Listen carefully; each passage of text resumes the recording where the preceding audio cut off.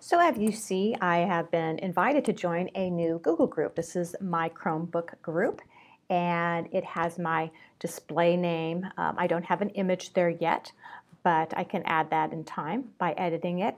But I'm going to go ahead and I'm going to accept this invitation to the Chromebook group. Just a couple of things to note. Sometimes when you receive invitations to join groups, you get constant email deliveries um, when new posts have been made.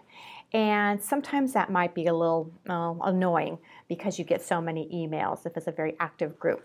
So you might want to change your email delivery preference um, to maybe once a day uh, as opposed to every time you get a new message. So I'm going to do that right now. I'm going to go in and I'm going to ask for uh, a daily summary. I prefer that um, so I can sit down at my leisure, go through the messages, respond as I wish. Uh, that might be appropriate for this group. So I'm going to go ahead now and click Join the Group. I'm now in my Chromebook group, and if there were previous postings, I would see them in this empty white space here, and this is where I would click through to read the topics and read the posts that I'm interested in. But there aren't any yet, so I think I need to get this thing started. So I'm going to go up and find the big red button that says New Topic. Uh, whether we're posts or not, I would look always look for this uh, red button in order to start a conversation.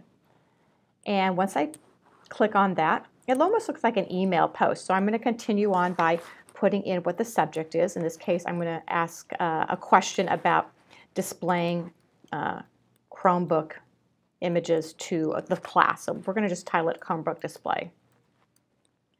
I have a check here that says email updates to me, and I want that because I want to see how, how people respond to my problem um, in a timely fashion.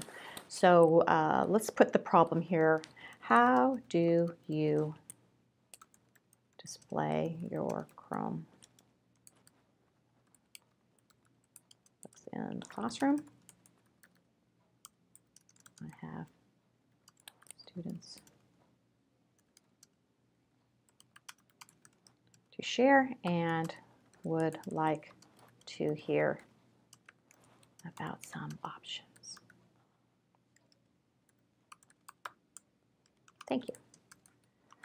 Okay, there's my message. I want to put this out to people in my group. Now I'm just going to go up here and click the post button. And my topic has been posted.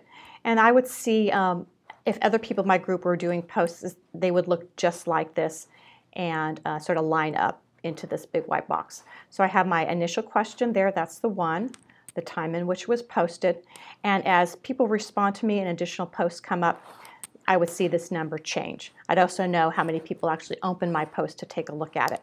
So I've gotten some very, um, I guess some great little analytics here to let me know if people are looking at my post.